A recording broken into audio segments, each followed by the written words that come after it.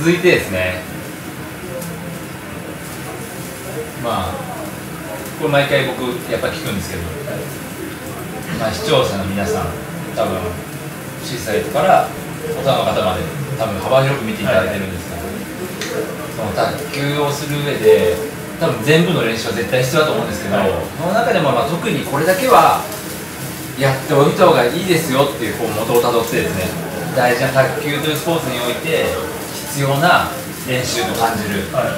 ものは上田さんにとって何ですか？そうですね。やっぱもうさっき言われたように本当にたくさんあるんですけど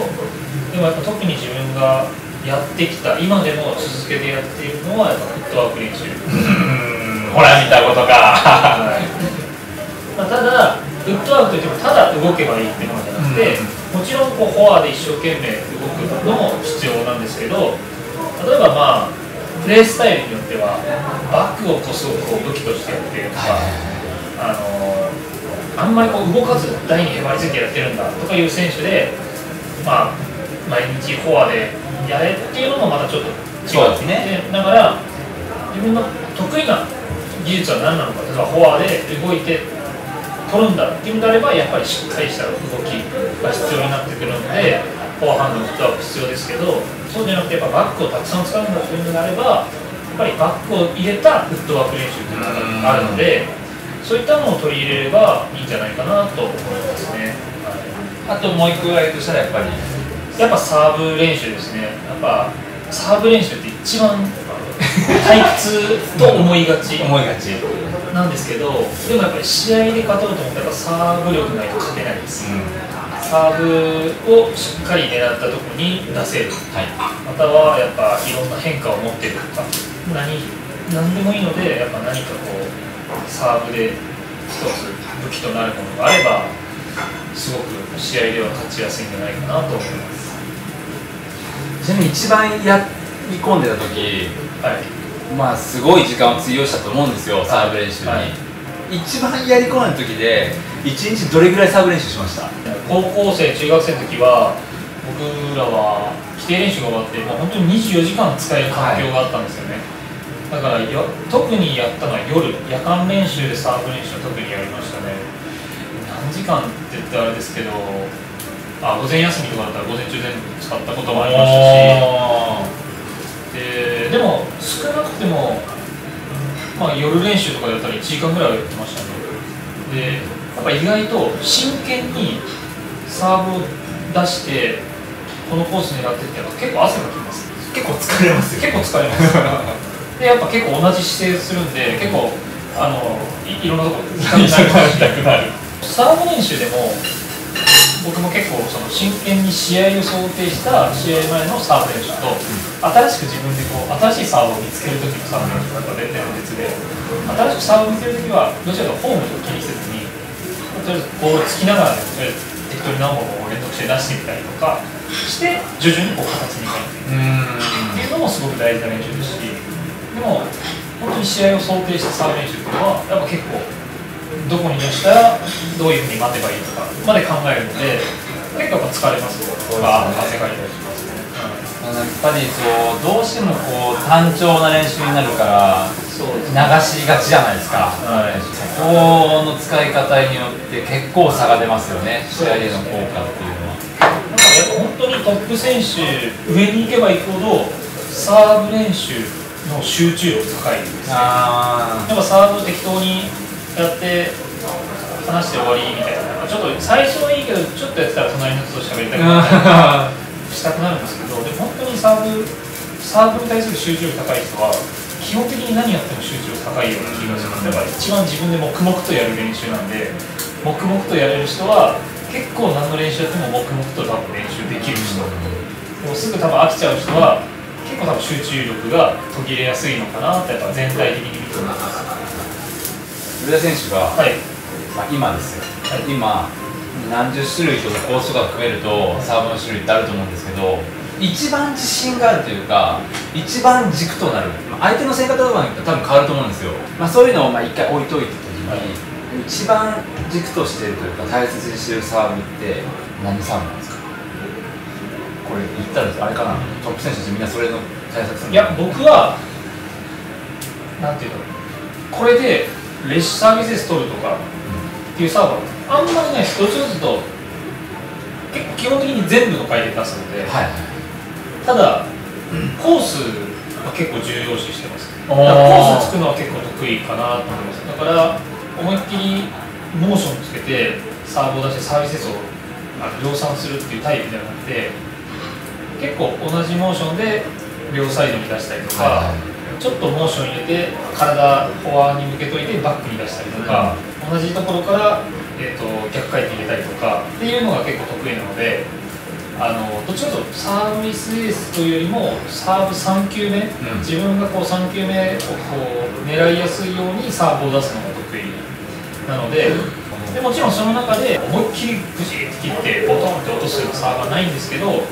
逆に普段そのそのちょっとこうごまかすようないろんなコースにいろんな回転を出すのでたまに投げ上げてちょっと切ったやつが相手にとってはちょっと切れたように思えちゃうというか、それで落としてくれたりとかちょっと甘くなったりっていうのはありますけどだか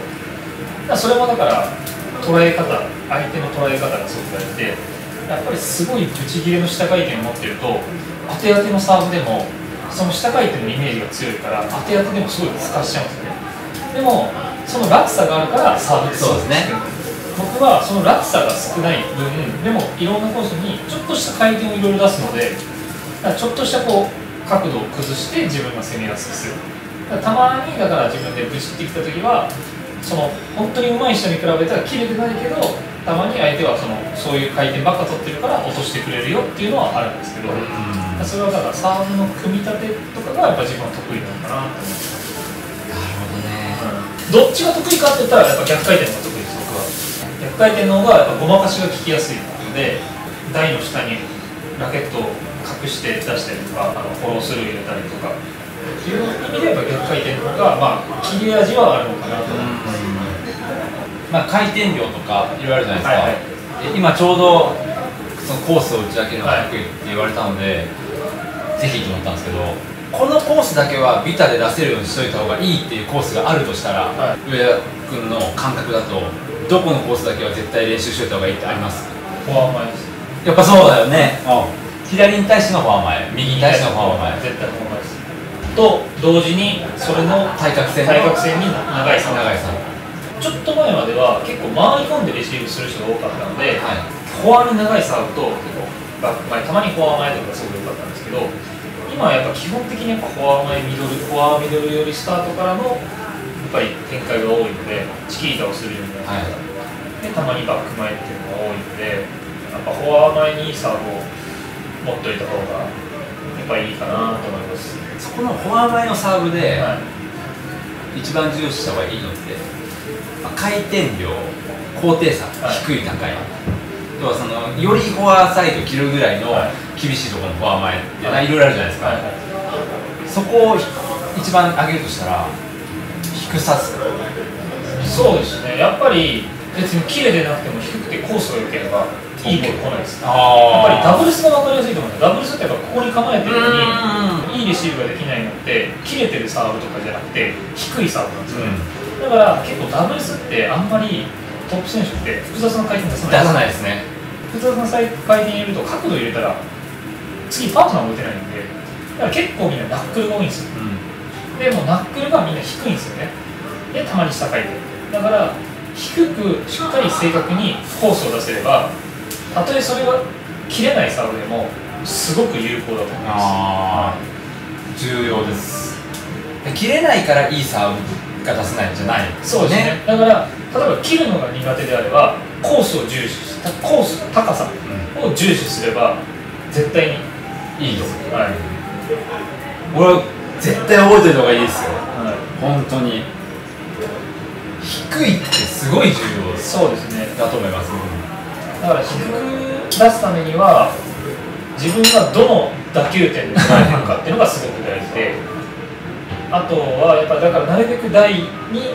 言うとあのち近いというか高さがね。高くないところで打球してあげるとやっぱボールは低く飛びやすくなるので、まあ低く飛ばすっていうのはやっぱネットより低いと強いボールはやっぱネット越えてこないと出ないのでどんなに切れててもネットより高いとやっぱ強いボール飛んできます前行けちゃいますからね。ね。前に打っちゃうとネット越えちゃうので。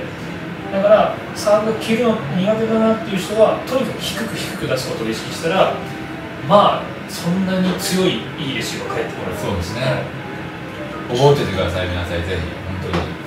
全部がメインなんですけど まあこれから今ね来月に開幕を備えた T リーグ、はいプロの選手としてはい。転向されたわけだと思うんですけど、まあプロの卓球選手それで勝負をかけたというはい。中でこれからやっていくと思うんですけどプロでかけていこうと思ったその時のまあ思いというかはい何か決意きっかけとかあったらなんかちらっと教えてくれると。嬉しいですそうですね。序盤で自分の性格を話したように結構人に流されやすい性格でやっぱりこう年を重ねるごとに自分の中でこれは譲れないものがあるんですけどそれをなかなかこう言っていいものかどうかと。周りの人の目を見ていろんな人の状況を見てこう結構物事を考えてきたんですけどでもやっぱ自分が最後この卓球があと何年できるか、で今自分のこの置かれてる立場とか、うんまあ、いろんなものを踏まえたところでやっぱりどっかで自分はこのままでいいのかってやっぱ自問自答するところがあったんですよ、でそういう自分を払拭したかったっていうものもあってやっぱ思い切って選択をしたっていうのもありますし小さい頃から卓球をやってきて今のこの自分があるのでやっぱこの卓球界で新しいことをやるっていう時にそういうところに携わって自分が卓球界になんとかこう貢献できないかという思いもあるのもありましたね。はい上田さんの思いとして、はい。まあ、どんなチームでありたいしどんな T リーグがどんな存在でありたいかっていうのって何かあります？やっぱり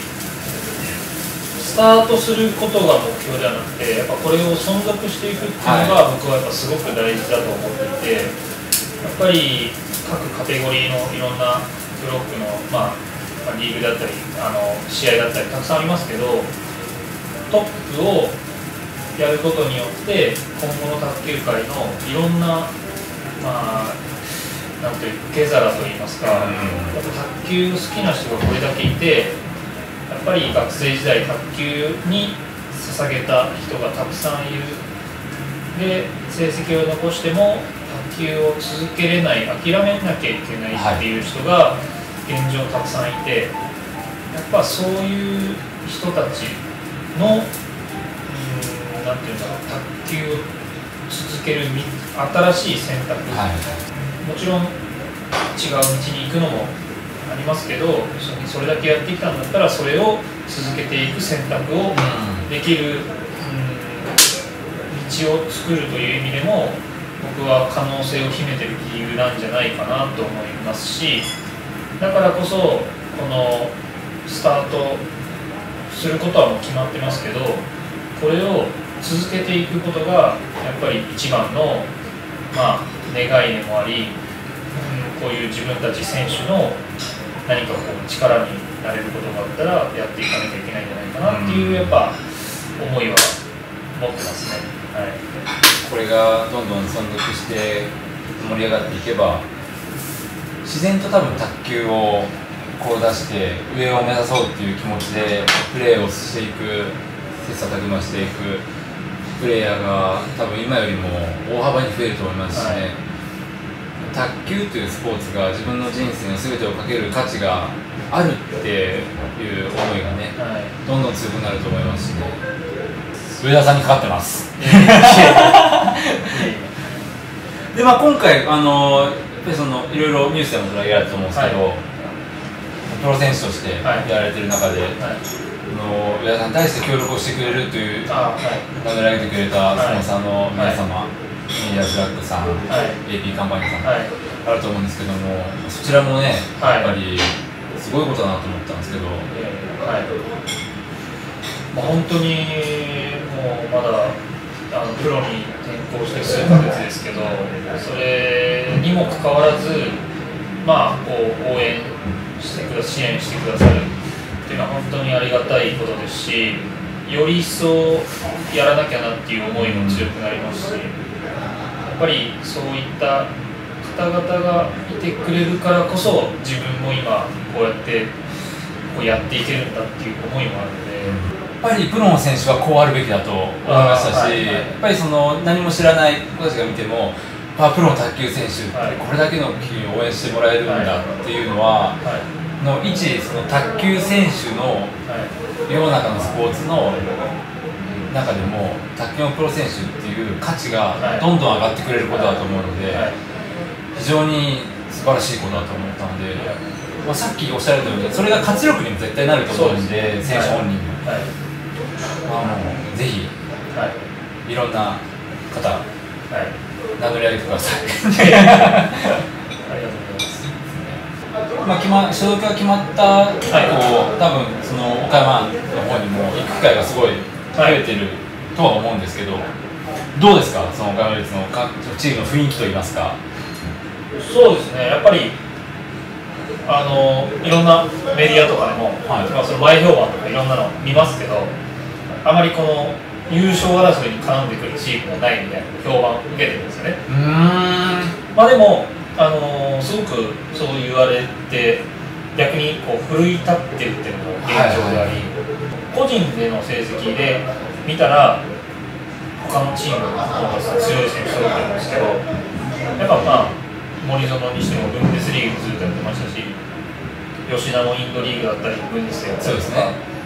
で僕はまあ日本ですけどずっと団体戦やったりっていう選手だったりまあ他にも吉村だったり B さんそういう人がたたくさんいますけど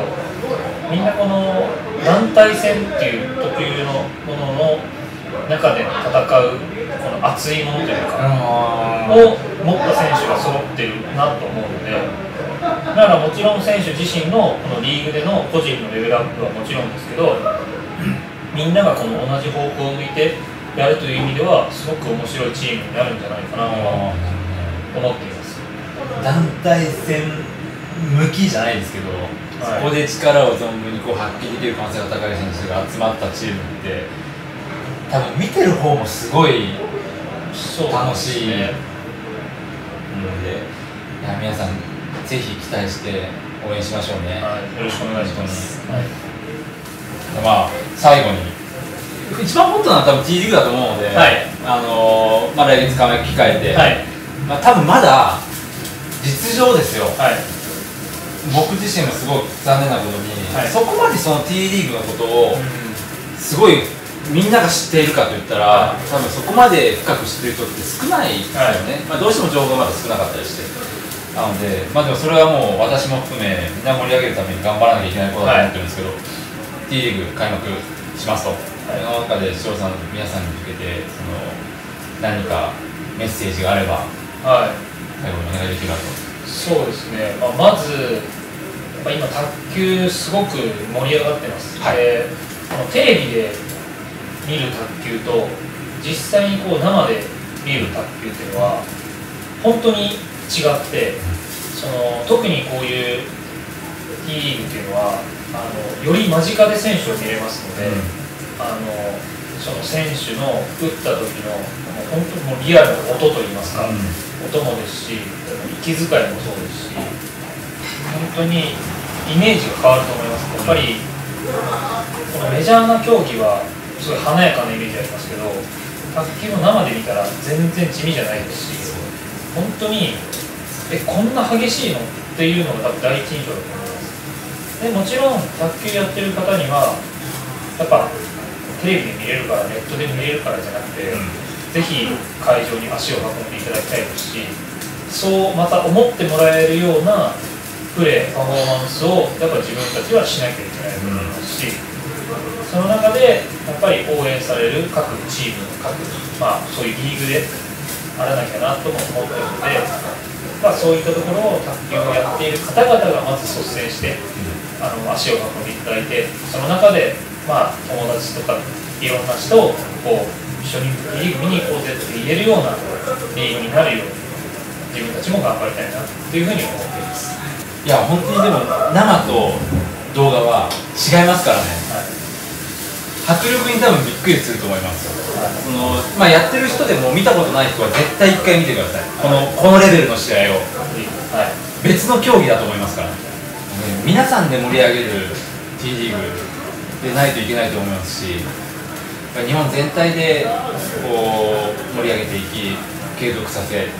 卓球界の活性化につなげていくっていうのが一番理想の形だと思いますので皆さんでぜひ盛り上げていきましょう。はい。いや今日は喋ったよ。いや喋りました。喋りましたよ。はい。ぜひ皆さんのこの卓球生活がもっとねより豊かなものになれば僕も上田さんに「お願いします!」って言った甲斐があるのではい。これからも皆さんはい。おのおのであの卓球をねずっと継続しながら楽しんでやっていければと思います。本当本日はありがとうございました。ありがとうございました。ありがとうございました。ありがとうございました